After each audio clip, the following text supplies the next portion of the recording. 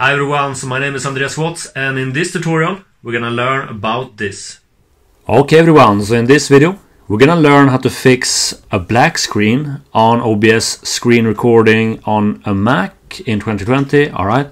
So if you have a problem with a black screen, make sure that you have this one, display capture. If you don't, just click on this plus sign and add a display capture, alright? And if you still have a black screen, we need to close the OBS screen recording software. So because I'm recording, I'm just gonna minimize it. After that, go to the top left corner, click on this Apple icon, go to System Preferences. Now go to Security and Privacy.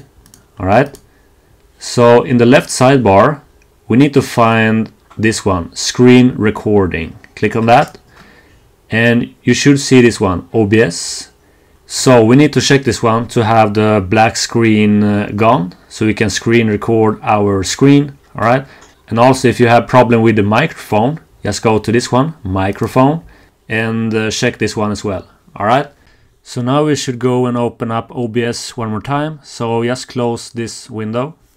Open up your OBS software and now you should see the screen on your OBS screen recording software. Okay everyone, so this is how you can fix a black screen on OBS on your Mac in 2020. I hope this helped. Okay everyone, so I hope this video helped you out. If you like this one and want more of these videos, you can subscribe right here in the corner.